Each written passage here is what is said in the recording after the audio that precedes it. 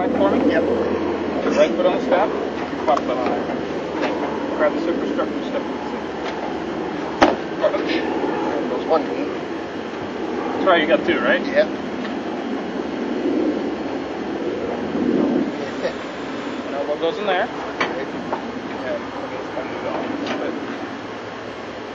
There we go. The other one in here. Good. Now, do the chest strap, Engine instruments looking good. We'll the tail off the ground.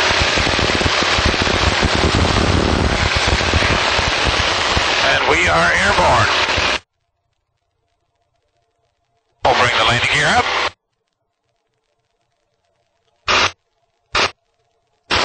We'll throttle back here. We don't need all this horsepower anymore. And we're flying. How about that? I love it. Good deal. Well, you know what the stick and rudder does? Yes, I do. All right, well, why don't you take over? You got it. I'll completely clear out the controls back here. She's all yours. You'll find it's probably a bit more sensitive than you expect it to be. I've already noticed that.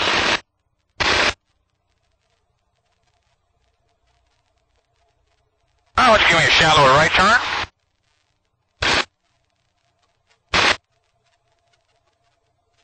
All right, I'm ready to rock and roll if you are. I am ready. Follow me through. I'm going to turn to the left here a little bit, so we head straight south, and I'll demonstrate a simple aileron roll to the right. This is not a coordinated maneuver, although we will have positive G's at all time. Here we go. Now bring the nose up. Excuse me, about 20 degrees.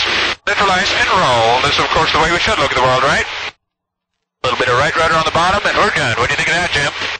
Excellent. All right, well, your turn. Bring the nose up. I want you to do it to the left. So stop and left stick. Left stick. A little bit forward stick. More left stick, not quite that much forward. Left rudder now. Left rudder to prevent the nose from dishing out. And we're done. Bring the nose back up again. We're going to regain the altitude. How are you feeling? All bit. So there you go. That's good. All right. Pull up first. A little higher. A little higher. Stop and roll. Left stick. Okay. Right forward too. That's all right. Keep going. Keep going right. Keep going right. More right. Right rudder also. Right rudder. Right rudder. Right rudder. And pull out. You see? I forgot the rudder. Yeah. And also, if you come out with a stick like you did there, you start rolling slowly and you'll dish out. You know, you got to keep the rate of roll going, otherwise the nose is going to drop. Okay. Let me through. I'm going to demonstrate the first one to the right. I'm just going to pick out a heading of south. You follow the section lines on the ground here, as you can see. This is uh, directly south. It starts with a very gentle pull-up, and then slowly start turning to the right. The idea is to let the nose slice through the horizon at the 90 degree point, but very low airspeed over the top, very light, as you can feel.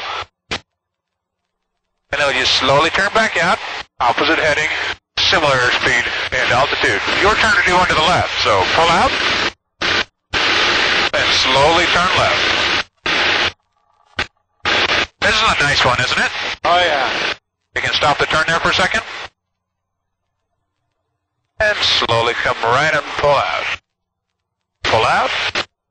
A little harder. There's a traffic 12 o'clock, no factor. Okay, got it. Let the nose come down. Go ahead and dive.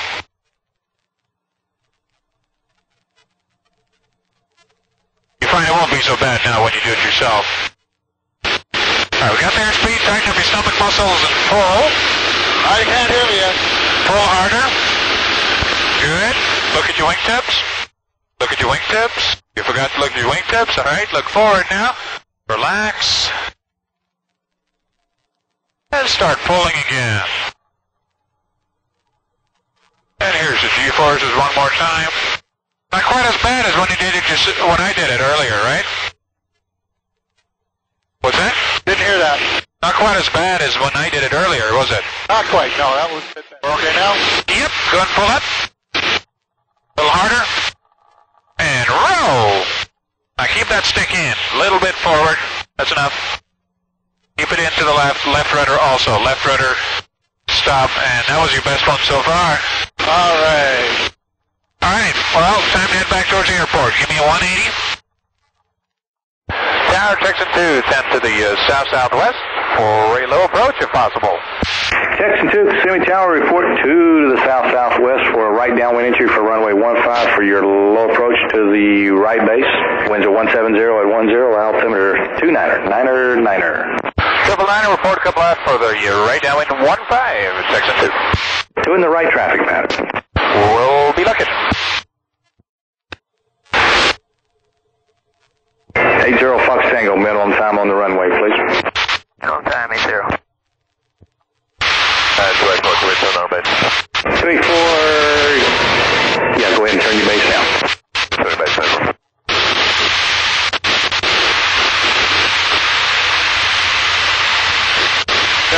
Took off in front of us. Yep.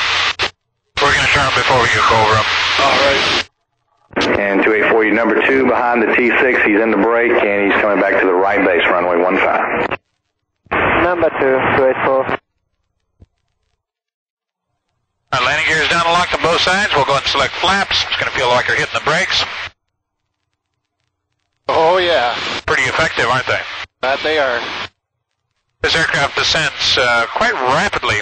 Gear down, flaps down, power up. About 1,800 feet a minute or so is the descent rate.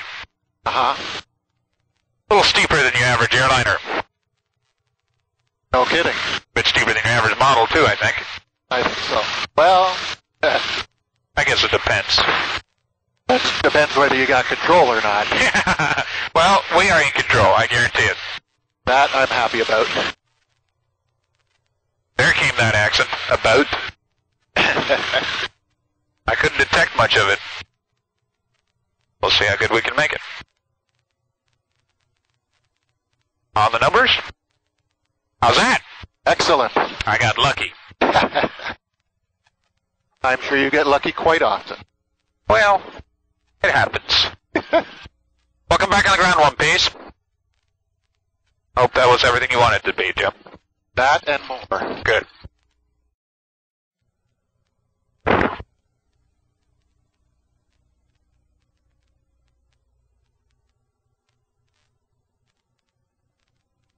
I can undo myself. You can start that. Make sure you don't pull the ripcord on the parachute, whatever you do. And uh, thank you very much for flying with us, Jim. Thank you very much for taking me up. You're welcome. What did I forget here?